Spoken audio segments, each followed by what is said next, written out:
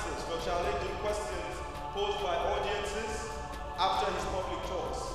In the last 17 years, by the year 2013, Dr. Zakir Naik has delivered more than 2,000 public talks in the USA, Canada, UK, Italy, Saudi Arabia, United Arab Emirates, Kuwait, Qatar, Bahrain, Oman, Egypt, Australia, New Zealand, Sri Lanka, Malaysia, Singapore, Hong Kong, Thailand, Guyana, South America, Trinidad and Tobago, and many other countries, and now for the first time in Africa, a lecture of this magnitude in Nigeria. He is ranked in the top 62 list of the 500 influential Muslims in the world, published by George Washington University in the year 2011 and 2012. He was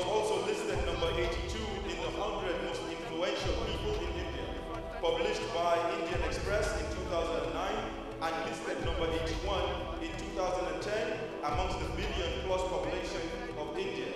He was listed number 3 of the top 10 spiritual gurus of India in 2009 and he topped this list in 2010. And over 100 million viewership, of which 25% are non-Muslims.